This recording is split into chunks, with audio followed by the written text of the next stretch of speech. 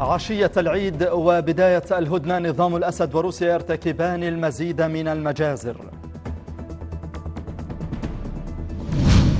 وثيقة أمريكية مسربة تكشف تحويل نظام الأسد ملياري يورو إلى روسيا.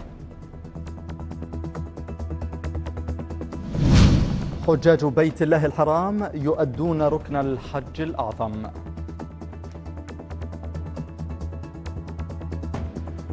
السلام عليكم وأهلا بكم في استوديو الآن الذي يأتيكم مباشرة من استوديوهاتنا في دبي وفي استوديو الآن أيضا تتابعون.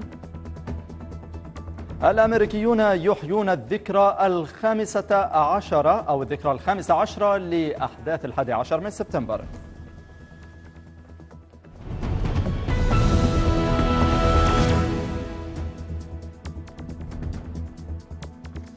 أهلا بكم. جدد الطيران الروسي قصف مدينة حلب رغم دخوله الهدنة المتفق عليها مع الولايات المتحدة حيز التنفيذ بحسب ما نقلته وكالة سمارت نيوز إذ قتل خمسة مدنيين بينهم طفل وامرأة وجرح عدد آخر جراء غارة بالصواريخ الفراغية استهدفت منازل سكنية في حي الصالحين في حلب. كذلك استهدفت غارات مماثلة حيي كرم الجبل والميسر واقتصرت أضرارها على الماديات. ارتفعت إلى 63 قتيلا و100 جريح حصيلة القصف الجوي الذي استهدف سوقا شعبية في مدينة إدلب شمال غرب سوريا. وقال المرصد السوري لحقوق الإنسان إن نساء وأطفال من بين القتلى بالإضافة إلى حالات حرجة. وأفادت مصادر طبية أن فرق الدفاع المدني ما تزال تحاول إسعاف المصابين ونقلهم من موقع القصف الذي أودى بحياة العشرات من المدنيين.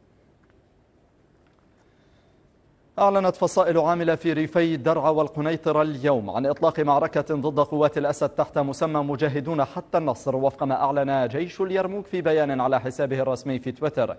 وأشار البيان أن الفصائل المشتركة ترجو أن تكون هذه المعركة هي الفاصلة بين الحق والباطل مشيرا أنهم سيردون أو يردون عبر هذه المعركة على سياسة النظام في تهجير الأهالي واغتصاب الأراضي وفق تعبيره. نذهب مباشرة مشاهدينا عبر الأقمار الصناعية إلى درعا. ومعنا من هناك مراسل أخبار الآن محمد الحوراني. أهلا بك محمد. محمد هجمات واشتباكات مستمرة خصوصا في الريف الشمالي لدرعا. نريد المزيد من التفاصيل لو سمحت. آه نعم محمد مساء الخير. في حقيقة الأمر بات واضحا أن الجنوب السوري عاد إلى الواجهة من جديد للاشتباكات والمواجهات المسلحة ما بين طرفين قوات النظام وفصائل الجبهة الجنوبية. آه أعلنت فصائل الجبهة الجنوبية كما ذكرت اليوم بيانا آه عن معركة في مثلث الموت في ريف الشمالي لمحافظة درعا. بالتحديد محيط تلجرين وتل الشعار. تهدف هذه المعركة التي أعلنتها فصائل الجبهة الجنوبية للسيطرة على نقاط استراتيجية ونقاط هامة لقوات النظام تهدف من خلالها فتح الطريق إلى الغوطة الغربية من العاصمة دمشق. تتزامن هذه العملية العسكرية محمد بقصف جوي عنيف من قبل قوات النظام حيث استهدفت تل الحارة وأيضا بلدة الحارة بأكثر من أربع غارات وأيضا استهداف بلدة عقربة بأربع غارات متتالية عبر سلاح الجو السوري الميج بالتحديد. تتزامن هذه المعركة في الريف الشمالي الأوسط أيضا مع معارك ريف القنيطرة بشرقي جبات الخشب بالتحديد التي أطلقتها فصائل معارضة يوم الأمس تحت اسم قادسية الجنوب. هذه المعركة أيضا تهدف إلى السيطرة على نقاط وكتاب تتبع لقوات النظام شرق جبات الخشب كسرية سرية الممدال وسرية طرنجة تمكنت خلالها الفصائل المعارضة من السيطرة على تلة الحمرية خلال الساعات الأولى من بدء تلك المعركة. حيث أن هذه المعركة أيضا ذات أهمية استراتيجية فإذا ما تمكنت الفصائل المعارضة في الجبهة الجنوبية وأيضا الفصائل المعارضة الأخرى من السيطرة على هذه النقاط تعتبر مدينة البعث آخر نقاط تمركز النظام في محافظة القنيطرة هي ساقطة عسكريا. بالإضافة إلى فصائل الجبهة الجنوبية تتمكنت من السيطرة على تل جرين بالتحديد. نستطيع القول أن بدأت معركة بالقرب من العاصمة دمشق. محمد أنا أشكرك شكرا جزيلا على هذه الرسالة الوافية من درعا وكل عام وأنت بخير محمد. صادر القضاء الفرنسي اسطبلا ومنزلين فخمين ومكاتب تعود لرفعة الأسد عم بشار الأسد للاشتباه بحصوله عليها بعد اختلاس أموال عامة بحسب ما أعلن الجمعة مصدر مطلع في القضية لوكالة الصحافة الفرنسية. ومن وجهة نظر القاضي كانت عمليات المصادرة ضرورية تفاديا لبيع الممتلكات الأمر الذي يحول دون مصادرتها في حال الإدانة بحسب المصدر. ويعيش رفعة الأسد النائب السابق وشقيق حافظ الأسد بين فرنسا وبريطانيا وإسبانيا بعدما أبعده شقيقه عن السلطة إبان الثمانينيات من القرن الماضي. أكد الرئيس التركي رجب طيب أردوغان أنه من واجب تركيا حيال مواطنيها القضاء على داعش في سوريا ووقف أنشطته على الأراضي التركية. وأوضح أردوغان في خطاب متلفز أن عملية درع الفرات العسكرية ليست سوى المرحلة الأولى من هذا المشروع. أكد رئيس هيئة الأركان اليمنية لواء الركن محمد المقدشي أن العمليات العسكرية وتحرير العاصمة صنعاء ليست مرتبطة بفترة محددة موضحا أن الحرب لا يمكن تحديدها بزمن معين وأن التحرك يتم وفقا لخطة مدروسة واستراتيجية عسكرية تضمنت كل التحديات وطرق التغلب عليها. وقال المقدشي إن العمليات في نهم وصرواح مستمرة وقريبا سيتم تحريرهما بالكامل. دعا الرئيس الأمريكي باراك أوباما الأمريكيين الأحد في الذكرى الخامسة عشر لاعتداء الحادي عشر من سبتمبر إلى قبول التنوع في البلاد وعدم السماح للإرهابيين بتقسيمها. وقال في مراسم الذكرى إن التنوع والإرث المشترك ليس ضعفا بل لا يزال وسيظل على دوام أحد أكبر مصادر القوة على حد قول أوباما. باشر حجاج بيت الله الحرام النفر إلى مشعر مزدلفة منذ مغيب شمس اليوم بعد الوقوف على صعيد عرفات حيث أدوا الركن الأعظم من فريضة الحج. وبدأ الحجيج نفرتهم إلى مزدلفة بعد الوقوف بعرفات اليوم استعدادا لرمي جمرة العقبة الكبرى في يوم النحر غدا وهو أول أيام عيد الأضحى. ثم الحلق أو التقصير ومن ثم يتحللون من إحرامهم تحللا أصغر. مشاهدينا منشق عن مركز البحوث العلمية يكشف لأخبار الآن طعم الأسد لا يزال يمتلك الأطنان من المواد الكيماوية. كل هذه التفاصيل بعد الفاصل. كونوا معنا.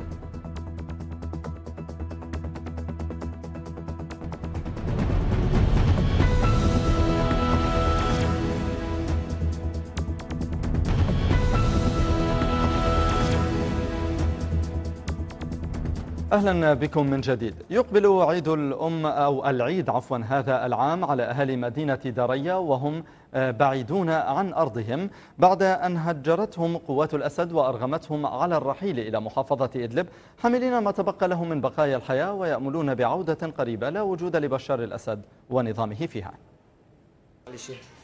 في هذه الغرفة الصغيرة تعيش أم ديب وأولادها بعد أن خرجت من مدينتها مرغمة مع أهالي داريا متوجهين إلى الحدود السورية التركية. بعد أربع سنوات مريرة عاشتها من الحصار والجوع تحت رحمة البراميل والصواريخ التي دمرت معظم ممتلكات عائلتها وقتلت أربعة من أفرادها. كان النظام حاطط خ... حاطط المرسي وعم يشد على خوانيقنا. لا خبزة لا أكل لا مي حرمنا من كل حقوقنا. وإذا طلعنا لبرا البراميل بظهرنا الصواريخ بظهرنا البراميل الحارقة بظهرنا. فجأة ما لقينا إلا قالوا لنا بدكم تطلعوا من البلد. وهي أول مرة نحن بنطلع من بلدنا. هجرونا غصب عنا. غرض ما خلونا نطالع. هلأ عم نتحسر على أغراضنا اللي تركناها هنيك عم نتحسر على أولادنا اللي فقدناها. بعيون يملأها الحزن وآلام الفراق. تستقبل أم ديب أول عيد لها اليوم خارج دارية بعد أكثر من خمسين عاما قضتهم فيها بحلوهم ومرهم. هذا العيد إن شاء الله ما بيجي عيد على أولاده يا رب. مثل ما إنه حرمنا أولادنا يحترم أولاده. مثل ما حرمنا بلدنا إن شاء الله ما بيتهنى ببلدنا. نحن ما متعودين. لا نتهجر ولا ننزح ولا نطلع. لأنه إنا إنا 55 سنة نحن ببلدنا بدرية حال أم ديب كحال عشرات الأسر التي خرجت من داريا حاملة ما تبقى لها من بقايا الحياة. يعيشون في هذه القرية على الحدود السورية التركية ويأملون بعودة قريبة إلى أرض العنب. يفضلون الحياة تحت وطأة البراميل المميتة والحصار الجائر على الخروج من المدينة والتشرد خارجها. نتمنى نموت بالبلد. وما نطلع من بلدنا. يعني قاعدين هون حدود تركيا بس ما مبسوطين مثل قاعد ببلد الواحد. كل القصف والدمار أحلى من كل العالم. الواحد بس يقعد ببلده يكون مبسوط ومرتاح وإن شاء الله بإذن الله بنرجع يعني بكون هالعيد هذا فرج علينا وعلى الأمة جميعا. يا رب وبيرجع كل واحد على دياره. الأطفال هنا يبدون في عالم آخر يختلف عن عالمهم القديم. يملؤون أوقاتهم بألعاب حرموا منها في مدينتهم. وكأنهم في نزهة مؤقتة في أيام العيد في بلد يحكمه نظام لا يعرف معنى للطفولة وبراءتها. لأخبار الآن معاذ الشامي ريف إدلب. في ريف إدلب لا يختلف العيد كثيرا عن بقية المناطق المحررة فأسواق المدينة تحت مرمى الطائرات الروسية والسورية ليل نهار. ناهيك عن ضائقة مالية يعاني منها معظم الأهالي هناك وهو ما خفف من عمليات البيع والشراء في الأسواق. مراسلنا يرصد لنا الأجواء عشية عيد الأضحى في سياق التقرير التالي. على الرغم من كل الدمار والألم الذي ألحقته طائرات النظام بكفرنبل في ريف إدلب وما نتج عنه من موت ونزوح وتشريد للسكان. يصر أهالي المدينة على استقبال العيد متى حل ضيفا عليهم. غير أن إقبال الناس على الأسواق لم يعد كما كان. فطائرات الموت الروسية والسورية تحوم في أجواء المناطق المحررة مترصدة أسواقها. ذلك فضلا عن غلاء الأسعار التي أصبحت لا تتناسب مع الضائقة المالية التي يعانيها السوريون. فشراء الألبسة الجديدة ليس بمقدور الجميع هنا. مثل ما هلأ شايفين نحن طالعين على السوق بنشتري الأغراض بس في شوية غلا في الأسعار وحركة خفيفة على السوق. آه، نظرا لغلا الأسعار الموجودة في السوق ونظرا لقصف الطيران اللي عم بيصير آه، في أماكن فاتحة أماكن مسكره بس رغم هالشيء في ناس عم تيجي تتقبل بس بحركة خفيفة آه، والأسعار غالية كثير على الله تعود بهجتنا والافراح وتغمر دارنا البسمة. والافراح وكما اعتاد السوريون دائما في إيجاد طريقهم إلى الحياة في ظل أقصى الظروف. ما زال العيد يضيف إليهم قليلا من الأمل بالنصر وعودة الحياة إلى طبيعتها. نتمنى أنه أمنيتنا بهالعيد هذا أنه آه، ربنا يحقن دماء المسلمين أنه آه، ينتصر الشعب أنه يظهر الحق أنه تنتصر الثورة آه، إسقاط النظام نخلص من من الظلم الطيران من كله. يعني هذا كله بشكل عام. أما باقي مدن الشمال السوري حالها كحال هذه المدينة. فطائرات النظام وروسيا ما تزال تستهدف المدنيين في الأسواق العامة بلا رحمة. قالت مصادر في المعارضة السورية إن الفصائل المسلحة قبلت باتفاق الهدنة الأمريكي الروسي وسترسل ملاحظاتها عليه. وقالت المعارضة إنها سترسل إلى جانب الأمريكي ملاحظاتها على بعض بنود الاتفاق ومن أبرزها ما يتعلق بآلية ضمان التزام النظام بوقف إطلاق النار وآلية محاسبته في حال حصول اختراقات. للحديث أكثر حول هذا الموضوع معنا عبر الهاتف من مكة المكرمة النائب السابق ورئيس الائتلاف السوري الدكتور هشام مروة أهلا ومرحبا بك دكتور هشام. دكتور كيف ستستفيد المعارضة من هذا الاتفاق خصوصا للتخفيف على المدنيين؟ ابتداء السلام عليكم وعلى الأخوة الكرام وإن شاء الله العيد القادم يكون سوريا تحررت واستقرت وعاد إن شاء الله الأمن والاستقرار إلى ربوعها. آه، بخصوص هذا الاتفاق الذي جرى، الواقع هذا الاتفاق آه، كما تعلم يعني هو كما فعلا نعم. كما جاء في تعليقات بوتين نفسه بيقول هذا إحياء للهدنة اللي هي الرقم اللي تم اقراره بموجب القرار 2268 نتمنى إنه فعلا هذا القرار يتم تطبيقه. المعارضة حريصة كل الحرص على مبدا على حماية المدنيين على تحقيق مبدأ حماية المدنيين وكل آثاره القانونية المترتبة عليه. على حقن الدماء السوريين كل السوريين الانتهاء من هذه الأزمة. ولكن من خلال التجربة للأسف ذاكرتنا سيئة فيما يتعلق بالتزام النظام وحلفاء النظام بهذه الاتفاقات. كما نعم. تعلم هدنه وقف الأعمال العدائية المقرره بقرار مجلس الأمن كان يخرقها النظام بمعدل خرقين كل ساعة على مدى على مدى ستة أشهر. نتحدث عن آه، الهدنة التي تم توقيعها بشطاط على حين المعارضة التزمت التزام جيد وكبير بهذه الاتفاقية وبهذه الهدنة. نعم. إذا لم يكن من المجتمع الدولي ضمانات لإلزام النظام وحلفاء النظام وليس فقط النظام ما جرى اليوم في ما جرى اليوم في آه، في إدلب وما جرى في آه، في في حلب أيضا أمر الحقيقة لا يمكن أن يقبل حوالي 100 ضحية جراء قصف روسي آه، لمناطق مدنية نعم. سوق شعبي أو أحياء مدنية سكنية. طيب دكتور مروة هل تطبيق هذا الاتفاق ممكن في ظل المجازر اليومية التي يرتكبها نظام الأسد وحليفه الروسي؟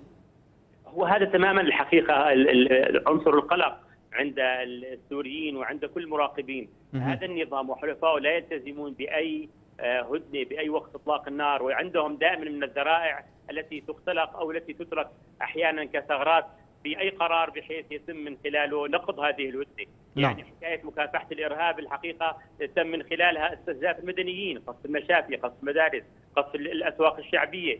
حتى قصف المشا... المشافي والمدارس، كل هذه المسائل تكشف إنه لا يمكن ولا بشتى الأشياء للأسف.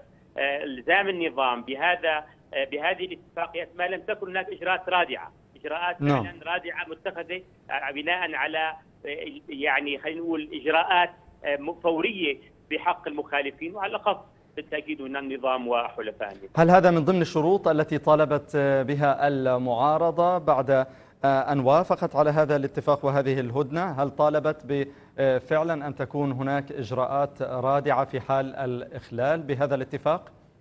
يعني اولا هل أعلنت المعارضة الفصائل العسكرية والفصائل السياسية عن الموافقه النهائيه بشكل نهائي؟ الحقيقة هي كما جاء في تقريركم هناك ترحيب ولكن ترحيب حذر. هناك ضرورة هناك وجود ملاح هناك ملاحظات وهناك ضرورة تحقق ضمانات، ضمانات الحقيقة التي تضمن آه، عدم آه، خرق النظام لهذه الاتفاقيات وعدم استغلال الثغرات. بحيث يتم في استهداف مدنيين كما قلنا بذريعة وجود إرهابيين أو تسلل إرهابيين. طيب متى تستطيع المعارضة السورية الوثوق بصدقية النوايا لنظام الأسد وحلفائه؟ الحقيقة المسألة جدا معقدة، إذا ما كان هناك إجراءات فورية، إذا يعني ان أن يعطى للمعارضة السورية على سبيل المثال آه، مضادات جوية لكي تمنع خرق النظام لهذه آه، على سبيل المثال لهذه آه، الاتفاقية، أن يكون يعني بحيث إنه فعلا يكون المؤيد الجزائي هو دعم مباشر وحقيقي لقوى الثورة والمعارضة نعم. بما يمكن من تسليح لوقف النظام وردعه، هذه بعض الضمانات التي يمكن أن تطلب في نعم. هذه الأحوال. الدكتور هشام مروة النائب السابق لرئيس الائتلاف السوري الدكتور هشام مروة شكرا جزيلا لك. رأى سوريون مغتربون في فرنسا أن التنظيمات الإرهابية في بلادهم تعيش على المشاكل والفوضى وتفريق المجتمع الواحد وأنها ليست إلا وليدة تشابكات ومصالح دولية وتحمل أجندات بعيدة عن تطلعات وطموحات الشعب السوري. مؤكدين لأخبار الآن أنها ستزول تلقائيا بمجرد إيجاد حل سياسي في المنطقة حيث ستتعافى سوريا وتخرجهم لتعود وتعيش بحال أفضل. أنا بعتقد أنه لا مستقبل لهالتنظيمات هي الإرهابية بسوريا لأنها عبارة عن وليدة لتشابكات مصالح المجتمع الدولي بسوريا اللي المجتمع السوري بيلفظها واللي بيرفضها بمستقبل سوريا لأنها لأنها إجت تحمل اجندات خاصة فيها أو خاصة بالدول اللي بتدعمها. البعيدة تماما عن طموحات وتطلعات الشعب السوري واللي ما بتمثل ابدا آه، آه، اللي بيربو له المجتمع السوري واللي بيبرأ منها وستزول بمجرد إيجاد حل سياسي في المنطقة ستزول تلقائيا آه، من مستقبل سوريا. يعني أنا أعتقد لا لا مستقبل لكل التيارات سواء كانت الجهادية آه، في صف النظام أو صف المعارضة آه، في سوريا القادمة. هدول آه، أبدا ما لهم دور. هدول يعتمدون على جسد مريض اليوم وغير معافى. يوم اللي سوريا بتتعافى آه، سيلفظ السوريون وستلفظ سوريا الأم الكبرى سوريا ستلفظ آه، هذه الجراثيم خارج الجسد لحتى آه، ترجع توقف وتعيش بصحة أكبر. هدول يعتمدون دائما على الظلام يعتمدون دائما على على التعب يعتمدون دائما على على إنه إنه إنه يكون في مشاكل ضمن المجتمع وفي في في في فوضى بالمجتمع. بعدما عرضنا في الجزئين السابقين كيف يصنع النظام في سوريا المواد السامة وكيف يحصل على المواد الأولية نستعرض في هذا الجزء ما قاله الضباط أو الضابط المنشق عن مركز البحوث لأخبار الآن حول المواد التي لا يزال النظام يمتلكها رغم إعلانه تسليم أسلحته المحرمة. في هذا الجزء من المقابلة مع أبو أغيد الضابط المنشق عن البحوث العلمية يكشف لنا أبو أغيد تفاصيل عن بعض الأسلحة الكيماوية والمحرمة التي أنتجها نظام الأسد والأسلحة التي لا يزال يمتلكها وكان نظام الأسد سلم مخزونه من الزارين أو السارين والأسلحة المحرمة دوليا. فهل لا يزال نظام الأسد يخفي بعض الأسلحة؟ وهل حقا يملك سلاح كيماوي أو أسلحة محرمة دوليا؟ نظام لا زال يمتلك أسلحة حتى الآن؟ بدون شك وعم يستعملها أسلحة من النظام قال أنه هو سلم مخزونه من الأسلحة الكيماوية والمحرمة الدولية. باعتقادي الشخصي ما ما سلم غازات في إكس ولا سلم الجمرة الخبيثة. وهو يمتلك مخزون هائل من من, من كل الأنواع هذه. أما أهم المراكز والمعامل والمعاهد والمشاريع التابعة للبحوث العلمية؟ يكشف أبو أغياد أن بعض المشاريع تم إيقافها وأخرى تم نقلها وأنشئت مواقع جديدة. لكن مراكز الإنتاج الأسلحة الكيميائية والصواريخ والحشوات الدافعة والوقود الصواريخ السائل والجاف والطائرات البدون. طائر كلها مشاريع خارج المدن. ما بتصير. المشاريع الكيميائية واحد في السفيره آه، صدع هذا البناء. وتوقف عن العمل من زمان. كان مشروع اسمه مشروع ال 500 المشروع الأساسي رقمه 3602 وهو مقابل تماما مطار الضمير وقد دمروا النظام على أثر تسليمه الكيميائي لأنه مكشوف. عمليا هن مكشوفين من قبل طائران الاستطلاع للدول يعني مكشوفة لك.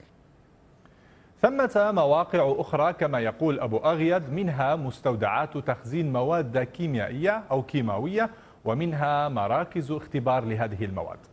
يعتقد أبو أغيد أن نظام الأسد لا يزال يمتلك الكثير من مخزون الأسلحة الكيماوية ويخشى من استمرار استخدام هذا السلاح خصوصا أن النظام لم يستخدم سوى غاز الزارين أو السارين بينما لم يستخدم بعد ال VX ولا الأسلحة البيولوجية كالجمرة الخبيثة وهما كما يقول سلاحان أشد فتكا من غاز الزارين أو السارين.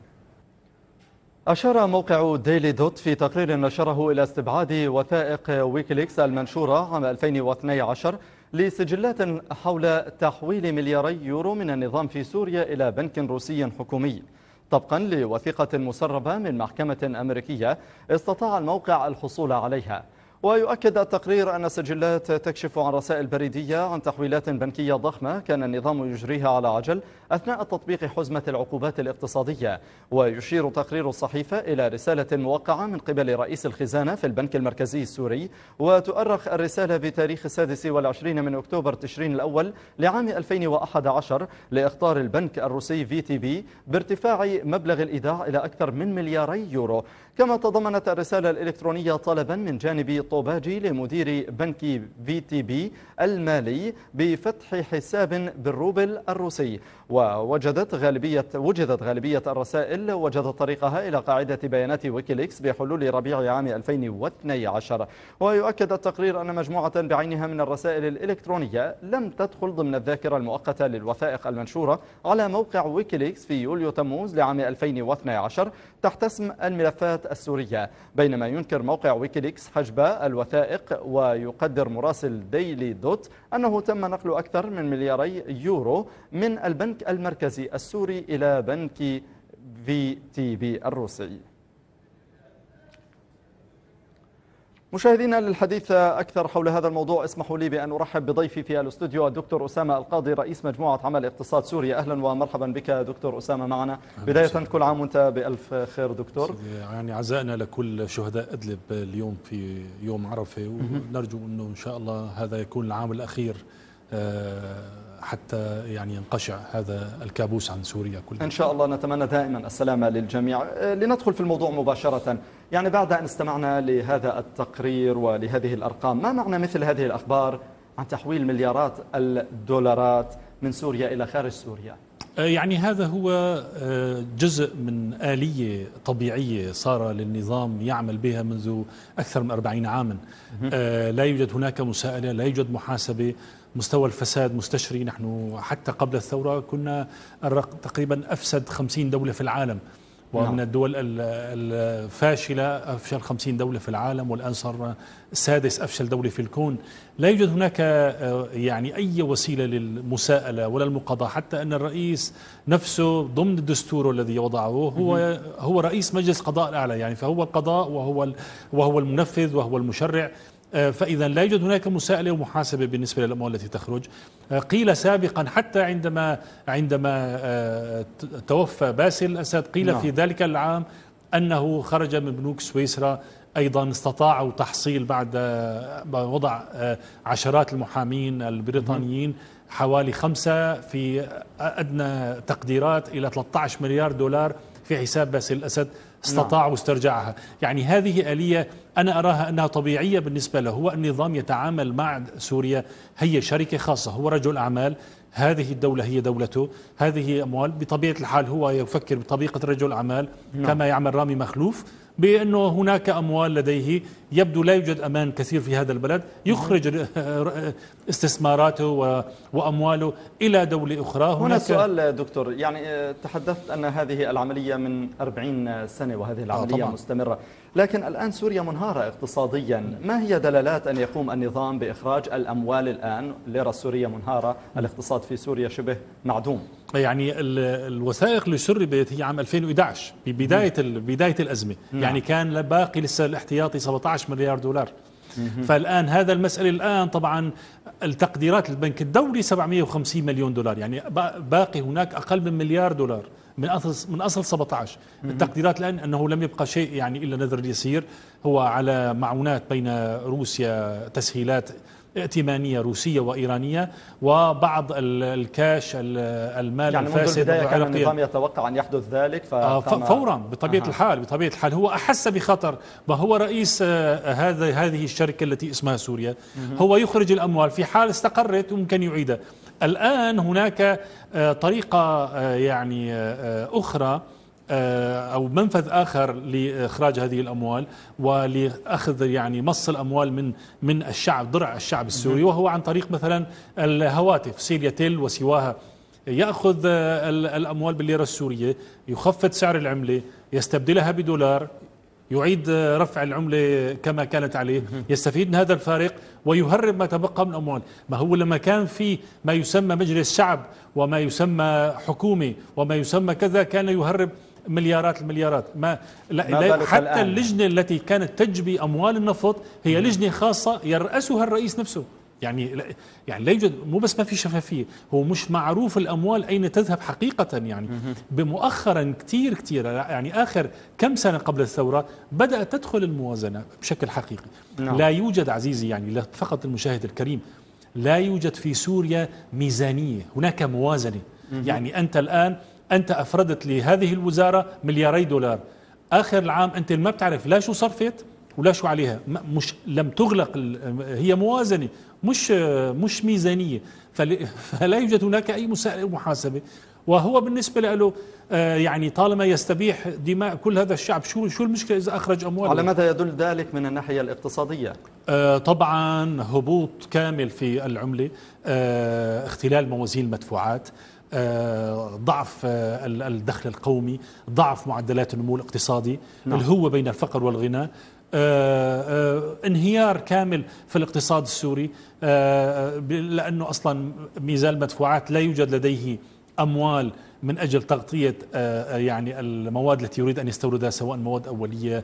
لكن أنا الحقيقة أريد أن أنبه هنا لمسألة هو أنه هناك آليات لاسترجاع هذه الأموال لكن هذه الآليات إلى الآن ليست بتلك الفاعلية. يعني هناك نعم. تقريبا مبادرتين من البنك الدولي والأمم المتحدة الآن مؤخرا 2013 من أجل آه، الأموال المسروقة.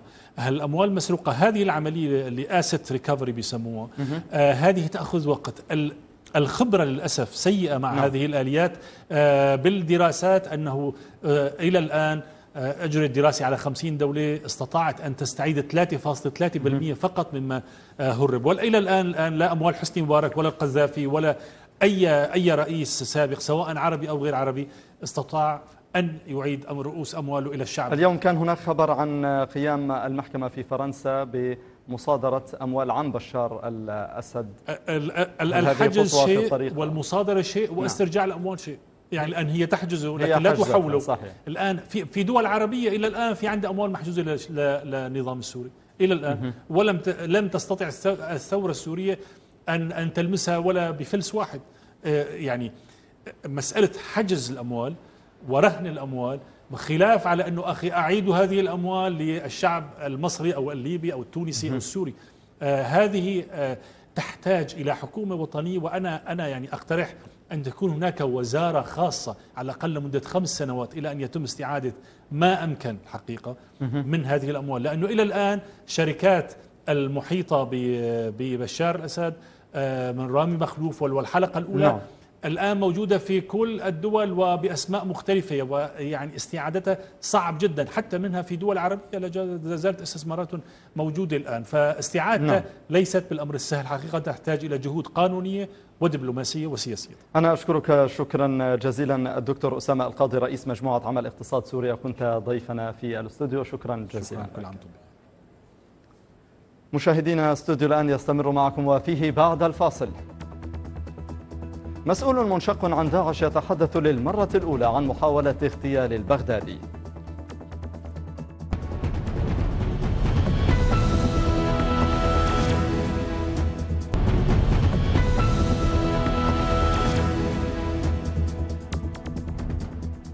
أهلا بكم من جديد. مشاهدينا ننتقل معكم الآن في هذه الصور المباشرة من المشاعر المقدسة.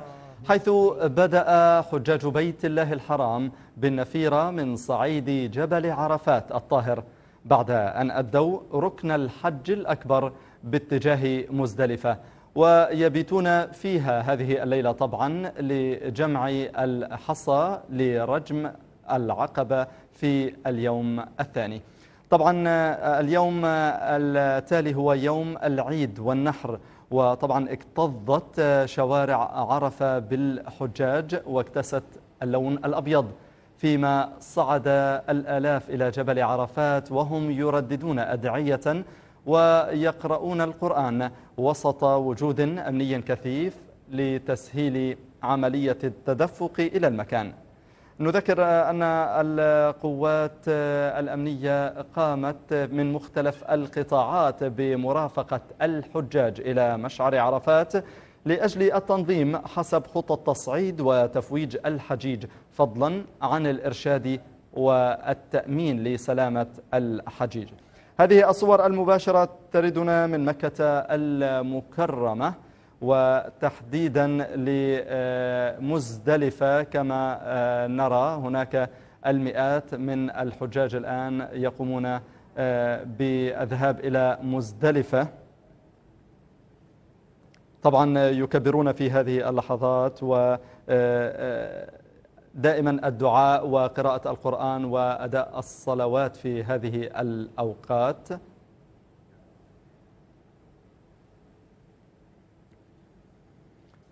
هذا وجرت بعد صلاة فجر اليوم مراسم استبدال كسوة الكعبة المشرفة كما هي العادة في التاسع من ذي الحجة من كل عام. ويستغرق تجهيز ثوب الكعبة المشرفة شهورا عديدة في مصنع كسوة الكعبة ويحتاج إلى كميات كبيرة من المعادن الثمينة والحرير الخالص. فيما يتولى نحو 170 حرفيا العملية التي تمر بمراحل مختلفة إلى أن تصبح الكسوة جاهزة لتغطى بها الكعبة المشرفة في يوم عرفات. تبلغ تكلفة ثوب الكعبة قرابة 20 مليون ريال سعودي وفق ما صرح به مسؤول الإعلام في المصنع أحمد باعنتر لوسائل إعلامية.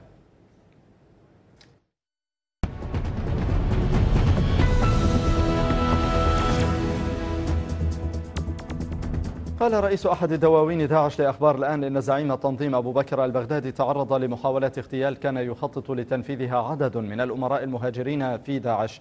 وأضاف المسؤول السابق أن التنظيم والذي طلب إخفاء هويته عقب انشقاقه أن 120 من أمراء ومقاتلي التنظيم حاولوا الانقلاب والسيطرة على التنظيم وقتل البغدادي الذي أمر بتصفيتهم جميعا بتهم الغلو والردة نتابع. جرت قبل سنة تقريبا محاولة لقتل البغدادي والسيطرة على مقاليد التنظيم من عدد من الشخصيات المهاجرة. هؤلاء نسقوا فيما بينهم للتخلص من البغدادي باعتباره طاغوت وهم كانوا متشددين أكثر تشددا من البغدادي نفسه. كان عددهم المشاركين في هذه المحاولة لقتل البغدادي تقريبا 120 إلى 130 شخص. وشى بهم أحد الأشخاص للبغدادي فقام باعتقالهم كلهم وتم تصفيتهم ولكن لم يعلن التنظيم أنه كانت هناك محاولة لقتل البغدادي أو اغتياله واستلام السلطة مكانه. إنما قالوا عنهم هؤلاء غلاة وخوارج وأنكر التنظيم ذلك. طبعا المعلومات وصلتنا هذه وصلتنا عن طريق بعض أعضاء مجلس الشورى الذين سربوا بعض هذه المعلومات حول محاولة اغتيال البغدادي. طبعا كان البغدادي كان الوضع عاديا قبل هذه المحاولة. لكن بعد محاولة الاغتيال زادت أمنيات البغدادي أكثر. تنقلاته خفت.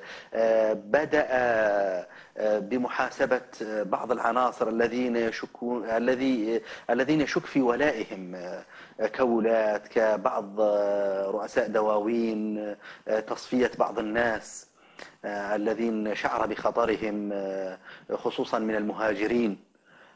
كأبو هاجر الجزراوي الوحيشي وأبو صهيب التونسي. طبعا هم كانوا مشاركين في هذه المحاولة الانقلابية ولكن هم شرعيين ولكن لم يذكر أنهم شاركوا في المحاولة. تم قتلهم لاحقا. كأبو عمر أيضا أبو عمر الكويتي تم قتله أبو محمد الفرنسي أبو دجان التونسي أبو جاسم النبكي. هؤلاء كلهم تم تصفيتهم داخل السجون بتهم ردة وبتهم أنهم غلاة. لم يتم قتلهم مع ال 120 شخص الذين اعتقلهم النظام التنظيم في بداية المحاولة محاولة الاغتيال إنما قتلهم بعد فترة قصيرة. خمسة عشر عاما على ذكرى هجمات الحادي عشر من سبتمبر والعالم كله يخوض حربا ضد الإرهاب والهجمات التي لا تستهدف إلا الآمنين والمدنيين في مختلف بقاع الأرض. يوم الحادي عشر من سبتمبر كان يوما تاريخيا. إذ بدأت بعده دول العالم تتحالف فيما بينها للقضاء على آفة الإرهاب الدولي وكانت البداية من الحرب على الإرهاب العابر للقارات. تنظيم القاعدة أول تنظيم عالمي يحمل الفكر الإرهابي عبر ضرب المصالح الغربية في جميع البلدان. فقام التنظيم المتطرف وكان مقره أفغانستان بعد ضرب برجي التجارة العالميين في منهاتن في نيويورك باستهداف محطات قطارات ومراكز تسوق وغيرها من المناطق الحيوية داخل أوروبا. وبعد حرب العراق سنة 2003 بدأ التنظيم المتطرف بتكثيف العمليات الإرهابية داخل العراق ونقل كل إمكاناته وأفراده من أفغانستان إلى هذا البلد مستغلا الفوضى التي يعيشها آنذاك. القاعدة في جزيرة العرب ومقرها اليمن الذي كان يعاني من ويلات الاقتتال الداخلي بين المتمردين الحوثيين والحكومة آنذاك. القاعدة في بلاد المغرب وهو تنظيم نشأ عن الجماعة السلفية للدعوة والقتال الجزائرية. في 2006 أعلنت الجماعة انضمامها للقاعدة والذي كان يقوده أسامة بن لادن. كما صعد إلى الواجهة بعد ذلك جماعة الشباب الصومالية التي تأسست في أوائل عام 2004 وهي جماعة أصولية تتبع فكرا أو تتبع فكريا لتنظيم القاعدة. وفي غرب إفريقيا ظهرت أيضا جماعة بوكو حرام وبدأت العمل المسلح في نيجيريا والتي تأسست في يناير لعام 2002 على يد محمد يوسف.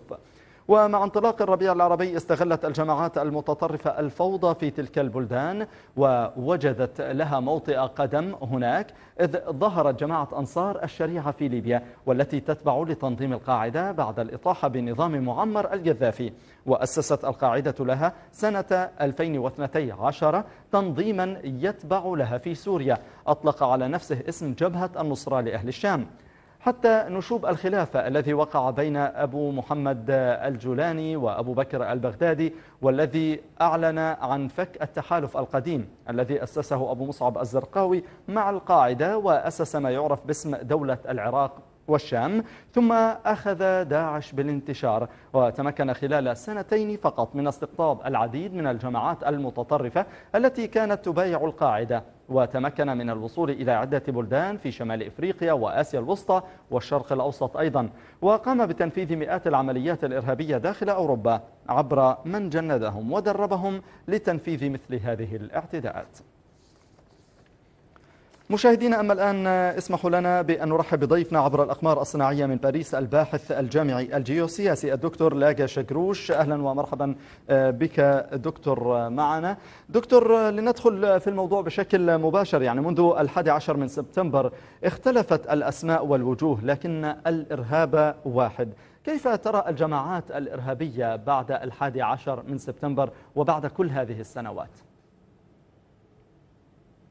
هو في الحقيقة أن الحادي عشر من سبتمبر كان نوع من الحافز الذي أدى بتحالفات بين كل الجماعات الإرهابية أما إذا ننظر في الحقيقة قبل الحادش الحادي عشر من سبتمبر كان هناك الإرهاب وقد ضرب أفغانستان وضرب الجزائر بقوة شديدة وضرب الغرب وضرب الشرق نعم. لكن الحادي الحادي عشر من سبتمبر كان هناك نوع من ظاهرة جديدة عالمية أو ما يسمى بالإرهاب عبر القارات والدول وكل الدول تفطنت لهذا الجانب الدولي وتمكنت وتفطنت لأن الصراع مع الإرهاب هو دولي ولا بد أن يجند وسائل دولية من إعلام من من من عسكر من من نشاطات استخبارية من تفهم لهذه القضايا. هذا هو المغزى ممكن الذي نعم. نستخلصه من من هذه هذه من ضرب أمريكا في في الحادي عشر من سبتمبر. طيب الآن وبعد أن أصبح الإرهاب قادرا على ضرب المدن في كل مكان. يعني في كل القارات المدن تهاجم بهجمات إرهابية سواء عن طريق الذئاب المنفردة أو عن طريق هجمات منظمة. آه الآن ما هي ما مدى الحاجة إلى التأهب الدائم لدى الدول لمحاربة مثل هذه الآفة؟ هو هناك نقطة مهمة أساسية أدخلتها. أدخلها الفكر الداعشي لا الفكر القاعدي. هو أن الإرهاب الآن وخاصة بعد الربيع ما يسمى بالربيع العربي الإرهاب أصبح في وضعية جديدة يريد السيطرة عن أراضي مثل سوريا مثل العراق مثل ليبيا مثل إفريقيا الغربية. الإرهاب يريد له ممارسة جيوسياسية أي السعي على السيطرة على أرض مثل سينا مثل أي مكان آخر. هذا الجديد ممكن هذا هو الجديد هذا هو المخطر.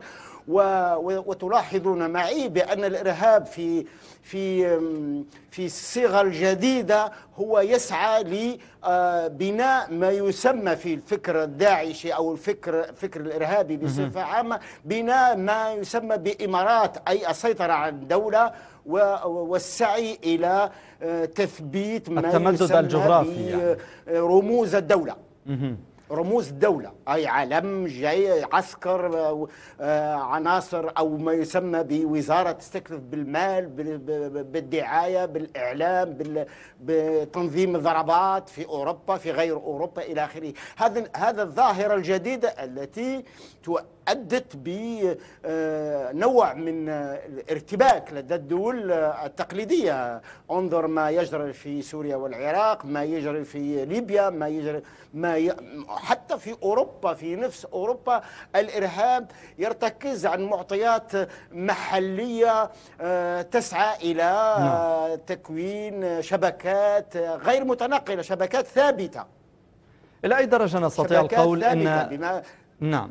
إلى أي درجة دكتور نستطيع القول أن سوء التنسيق ما بين الدول هو ما أدى لانتشار الهجمات الإرهابية في كل الدول؟ هذه هذه نقطة مهمة ممكن ممكن نحصرها في عدم فهم آه، انتهاء الحرب الباردة. كانوا من يصورون من يفكرون من ينظرون بأن الحرب الباردة لا آه، ما زالت مستمرة لذلك كان من يريد أن أن يستعمل بطريقة غير مباشرة أو ما دام ما دام الإرهاب يضرب الجار فأنا محمي لكن. الإرهاب استغل هذه الخلافات بين الشرق بين روسيا وأمريكا بين بين في في الشرق الأوسط بين مثلا إيران والسعودية في الغرب آه، في شمال إفريقيا بين آه، نعم، بعض نعم. الدول في شمال إفريقيا لذلك لذلك الإرهاب آه، استعمل هذه ال- الخلافات آه، الحقيقة في الخلافات الثانوية بين الدول وتمكن من من السيطرة على بعض الأراضي في الشام في العراق في ليبيا في غير ليبيا وتمكن من نعم. من تضخيم تضخيم العمل أو النشاط الإرهابي بصفة عامة انظر مثلا آه، حول حول ليبيا حول ليبيا كان من يريد أن لا يرى ما يجري في ليبيا نعم. وكان و و وبعض الدول الأخرى نعم. تندد بالإرهاب وعدم وحتى بعض القضايا يعني قضايا ما تتعلق بالحريات وقضايا التحرر وقضايا الديمقراطية ما دام ما دام نعم يسير في دكتور لمقاطعتك وأنا أشكرك شكرا جزيلا. كنت معنا عبر الأقمار الصناعية من باريس الباحث الجامعي الجيوسياسي الدكتور لاجا شجروش. مستمرون معكم في استوديو الآن وبعد الفاصل تتابعون. دراسة أمريكية تحذر من استخدام الصابون المضاد للبكتيريا.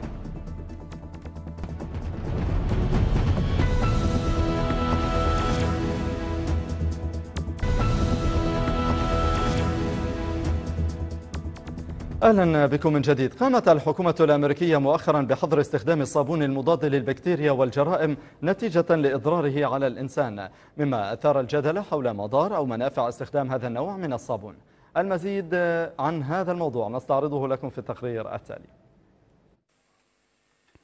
أصبح من الشائع مؤخرا استخدام أنواع الصابون المضادة للجراثيم بين المستهلكين وتفضيلها على أنواع الصابون التقليدية وخاصة بين العائلات ذوات الأطفال.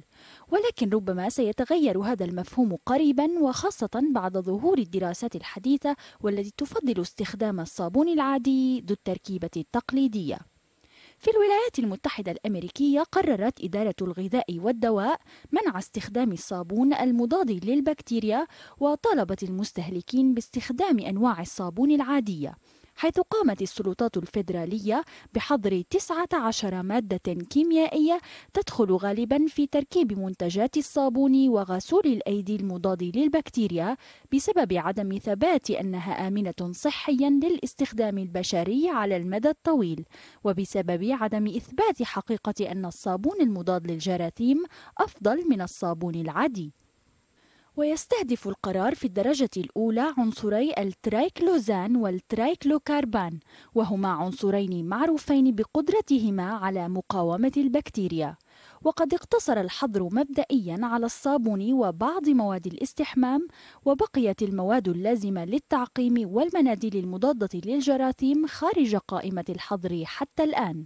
مع أنه لم يتم تلقي أي أدلة علمية حتى الآن حول موضوع مضار استخدام هذا النوع من الصابون إلا أن هنالك بعض المخاطر الناتجة عن استخدامه بالإضافة إلى مزاياه المعلنة مثل جفاف الجلد وعدم التوازن الهرموني واضطراب الغدد الصماء والمضادات الحيوية المقاومة بمعنى أن البكتيريا تصبح أقوى بحيث لم يعد من الممكن علاجها بنجاح بواسطة المضادات الحيوية.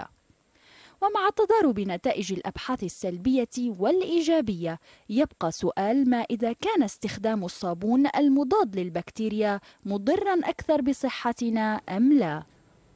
نحن في أخبار الآن استطلعنا آراء الشارع المصري فبعض المواطنين أكدوا استخدامهم لهذا المنتج منذ مدة طويلة وآخرون فضلوا استخدام الصابون العادي عن ذلك الذي يقضي على البكتيريا.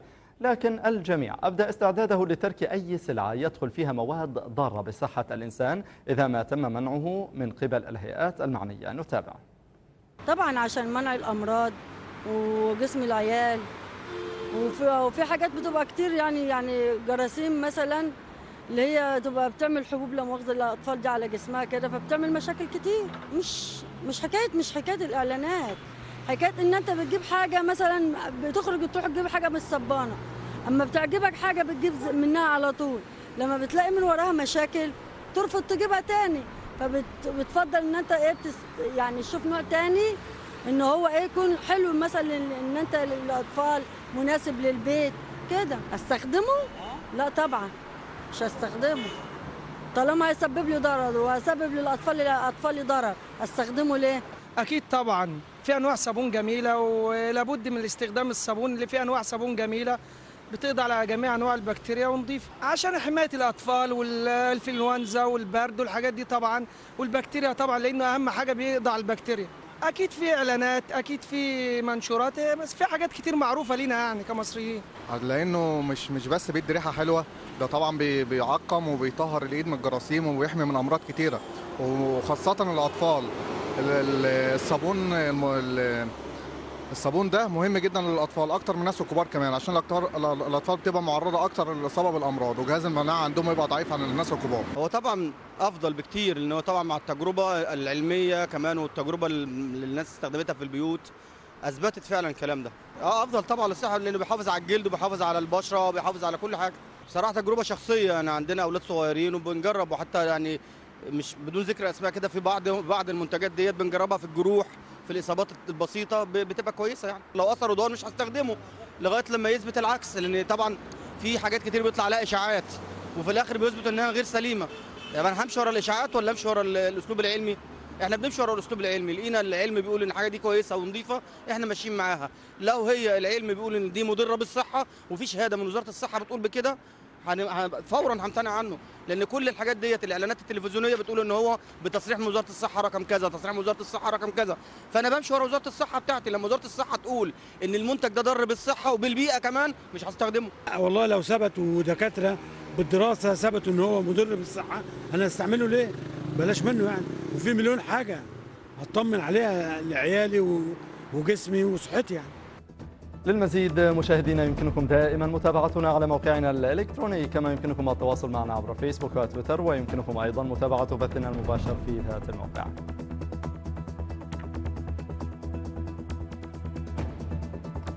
مشاهدينا إلى هنا وصلنا إلى الختام. في الختام هذه تحية من جميع العاملين في دائرة الأخبار وهذه تحيات محمد عمر. كل عام وأنتم بألف ألف خير ونتمنى حجا مبرورا لجميع الحجاج في الديار المقدسة إلى اللقاء.